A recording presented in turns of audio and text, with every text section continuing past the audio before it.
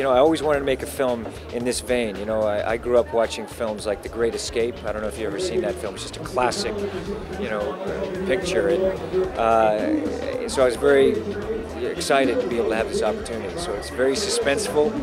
Uh, it's got some cool movie moments, and then when you realize afterwards that this, these events actually occurred and, and what these men and women uh, wanted to do, and you know, meant uh, meant a great deal. I think it's a timeless and ageless story. You feel responsible honoring the spirit of, of, the resistance without question. We wanted to do that. So you're wearing that extra weight on your shoulder because, you know, when I'm making a film, the first thing I'm thinking of, I just I want to really entertain an audience, no matter what kind of film I'm making, whether it's Magnolia or, you know, Mission Impossible or Jerry Maguire. You really want to fulfill the the promise that, that an audience wants. You know, we're here to entertain, but also with this other aspect, we have to, uh, you know, and wanted to uh, fulfill uh, those elements. So, but the story, the way you read the history, it reads like a suspense thriller.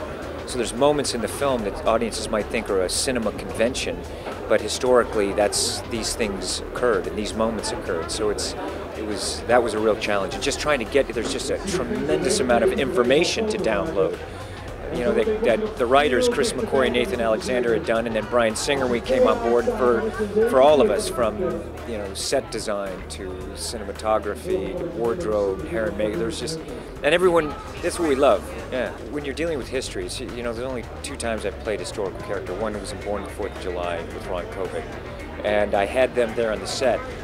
And this one, this time period, you know, when you're making these films on this scale, you, we have the airplanes, the tanks, the wardrobe, uh, the story, and with the suspense story, plus, you know, we're, we're dealing with actual events.